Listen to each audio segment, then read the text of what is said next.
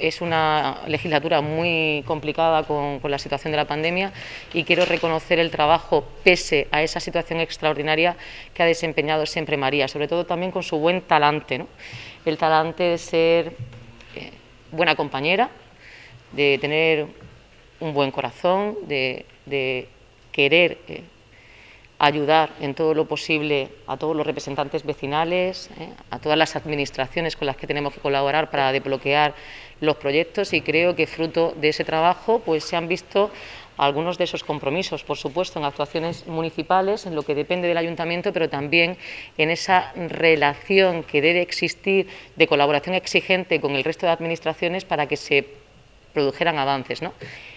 Creo que el paso que, que hoy da ¿eh? Eh, María Casajús al aceptar el nombramiento por parte del presidente y del consejero de fomento, José Ramón Díez de Revenga, de asumir la Dirección General de Carreteras, es muy positiva para Cartagena, porque es un área eh, necesaria con inversiones estratégicas en nuestro municipio y en nuestra comarca, que ella conoce a la perfección. Ella no va a necesitar llegar al despacho para que ningún técnico le explique en qué situación se encuentran esas carreteras, cuáles son sus necesidades, cuál es la inversión que se necesita y sobre todo la urgencia ¿no? de dar respuesta a esas actuaciones.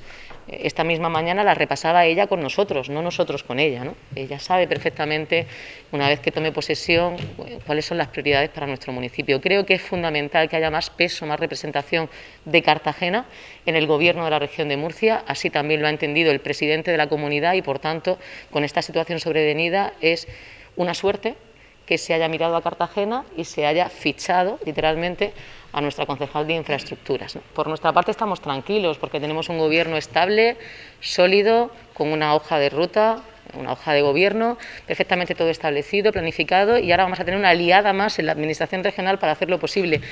Nosotros hoy estamos felices porque el tener aliados en otras administraciones es fundamental para desbloquear los proyectos que necesita Cartagena.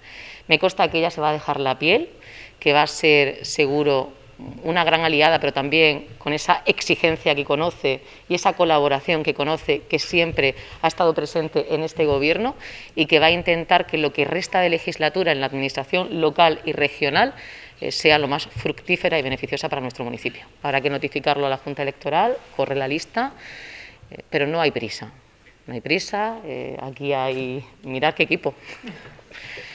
Y claramente el trabajo se sabe cuál es y se está avanzando, no, queremos que nadie tampoco en estos momentos sienta mayor presión. Correrá la lista, tendremos que hablar con la siguiente compañera de la lista, a ver cuáles son sus circunstancias personales y profesionales y escuchar qué decisión toma. Igual que hemos escuchado la decisión de la señora Casajus, habrá que escuchar también la decisión de la otra compañera. Pero bueno, por parte del equipo todos estamos tranquilos y sin duda creemos que que ganamos más que perdemos, ¿no? Y que se entienda bien, no ganamos porque se vaya, ¿eh? al contrario, ganamos porque tenemos una aliada ahora en un área que es fundamental para Cartagena.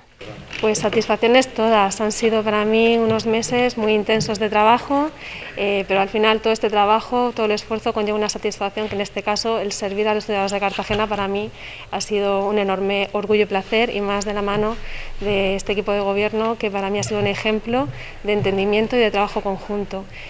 En cuanto al reto que se me presenta, eh, efectivamente es un, área en el que me siento muy ilusionada eh, porque eh, es una, un área técnica en la que me siento muy afortunada de que el presidente haya contado conmigo para poder desarrollar la labor en esta dirección general que tanto tiene por hacer y en la que espero desarrollar una labor muy importante para nuestro municipio. Hay mucho trabajo avanzado, eh, no dejo pendiente, vamos a seguir trabajando de la mano, eh, hay muchas cosas por desarrollar aún y creo que este equipo de gobierno lo va a tener muy fácil para continuar con esa labor. Como digo, repito, no se queda nada pendiente, sino que seguimos avanzando en todos los proyectos en los que estábamos desarrollando.